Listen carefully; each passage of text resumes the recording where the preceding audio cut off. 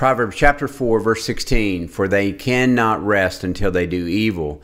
They are robbed of sleep till they make someone stumble. They eat the bread of wickedness and drink the wine of violence. Today's principle some men have taken the communion elements of violence. Jesus made an astonishing statement For as were the days of Noah, so will be the coming of the Son of Man. How were the days of Noah? There are many comparisons of the generation of Noah and this present generation, but most notably was the violence of humanity. Every inclination of the thoughts of men's hearts conceived wickedness. In our culture, we're seeing the heart of men turn toward wicked imaginations. Some men have purposed themselves to do evil.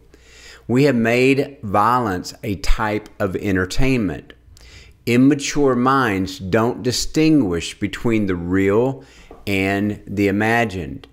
They feed on the spilling of blood and become thirsty for flesh, the bread and the wine of violence.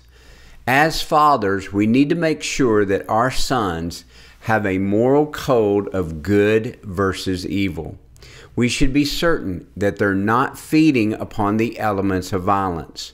Video games that use role playing and fantasy arts that replace sound minds with delusional minds.